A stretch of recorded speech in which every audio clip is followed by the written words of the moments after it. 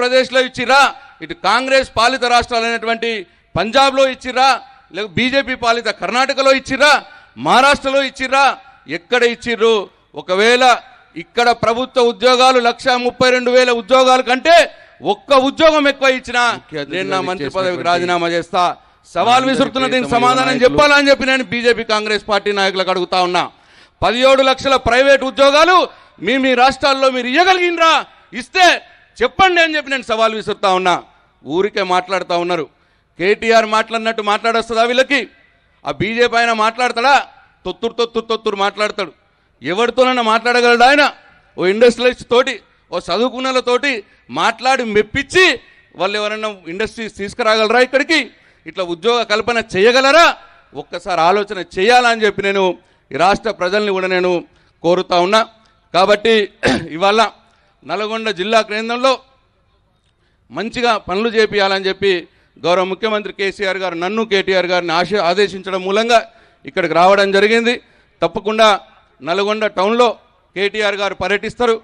మీకు రావాల్సినటువంటి జరగవలసినటువంటి అన్ని సౌకర్యాలు మరి కేటీఆర్ గారు చేస్తారు అని చెప్పి నేను మరొకసారి మీ అందరికీ మనవి చేస్తూ ఈ అవకాశం ఇచ్చిన మీ అందరికీ పేరు పేరున నా ఆర్ఎన్వి శాఖకు సంబంధించి కూడా భూపాలరెడ్డి గారు రెండు విషయాలు అడిగారు తప్పకుండా ఇప్పుడు క్షేత్రస్థాయిలో పరిశీలన చేస్తాం. ముఖ్యమంత్రి గారి దృష్టికి తీసుకుపోయి అన్నీ కూడా జరిగే ఏర్పాటు చేస్తామని చెప్పి నేను ఈ సందర్భంగా మనవి చేసుకుంటూ సెలవు తీసుకుంటున్నా. జై తెలంగాణ. థ్యాంక్ యూ సార్ మీ సమయాన్ని కేటాయించి పట్టణ అభివృద్ధి గురించి మీరు తీసుకుంటున్న చొరవకి. ఇప్పుడు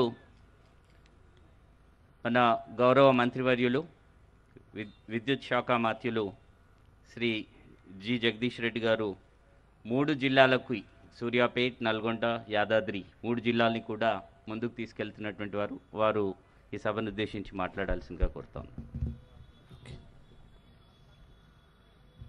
ఈరోజు నల్గొండ పట్టణంలో ప్రధానంగా ఐటీ హబ్కి శంకుస్థాపన చేసుకుంటూ